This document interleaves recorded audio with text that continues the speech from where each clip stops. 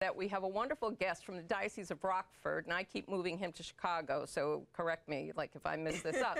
We're going to welcome Father Kyle Manno via Skype. Thanks so much for being with us, Father. Yeah, I'm excited to be here.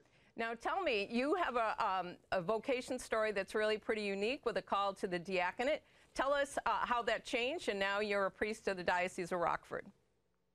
Yeah, so I came to college over at a place called Northern Illinois University, where I'm actually a priest now.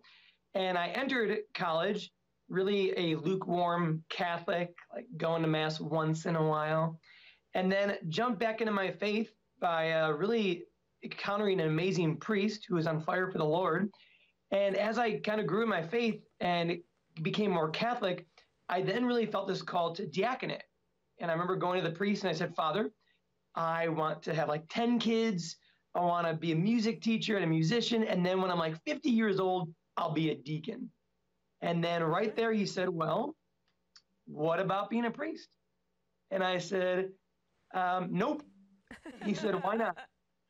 And I said, Well, I guess the first reason I don't want to be a priest is because I want to be happy. And I thought that at that time, priests were like not right joyful people. I thought there was like the one priest who I met but everyone else was kind of um, kind of sour in life. And so, really, by encountering this amazing priest, I then started asking that question. Maybe I could be one too. And then, full circle, I, you know, it all came down to prayer.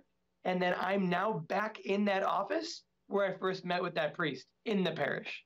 Amazing, amazing. Father, that's beautiful. And we can see the joy that you have. So uh, truly, yeah, God has that plan for you. But now, in, in your service in the Archdiocese of Chicago, what is your assignment?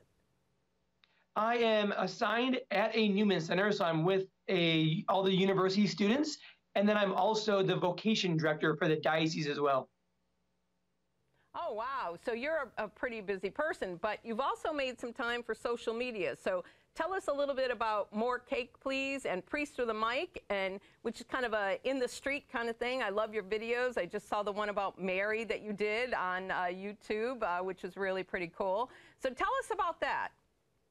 Sure. Yeah. So More Cake Please is actually a non for profit that the Lord inspired me to create. And it's called More Cake Please because the premise is we encounter like the spiritual delights of the Lord. Our spiritual taste buds are opened up. And then the more we encounter Him, God willing, the videos want us to then feast on Him in the Mass, in the Eucharist. And through that, the really initial movement of making that was the Lord inspiring me to just go to the street, have a priestly presence, and ask people questions about what is love? Who is God? What does it mean to be Catholic? What are we all searching for? And just encountering truth in the random person on the street. And it's amazing to see what the Lord does. Oh, that's beautiful. An amazing energy that you create inside those videos. But, Father, what made you decide to use this particular kind of media? There aren't a lot of priests doing that sort of thing. right.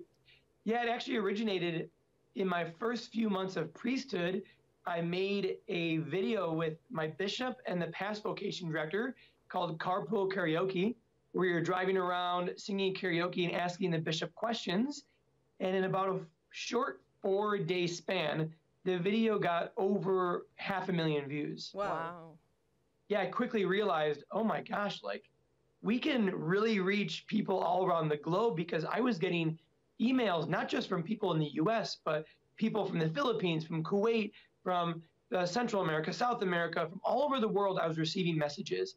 And so it was really in that moment where I thought, gosh, we have to do more with social media in order to bring the good news of Jesus Christ to the entire world. Wow, that's amazing. What's the reaction typically of people when you approach them with, with your mic, a priest with a mic? yeah, so sometimes they'll ask me, Are you a real priest? Which is interesting. And then really, I've been amazed that majority of people, like 70%, are willing to talk. And it actually is based on region.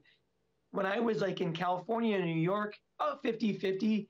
Here in the Midwest, everyone and their mother will talk to you. oh, that's beautiful. Where can people go to find these videos? Yeah, so if they go to any of my social media platforms Instagram, Twitter, Facebook, and search at Father Manno, Father is spelled out, Manno, M A N N O, or go right to YouTube, type in Father Manno, and you'll see all the videos there. Wow, excellent. Uh, thanks so much for being with us, Father. Thanks for taking the time out of your day. We appreciate it. You're welcome. God bless. Thanks.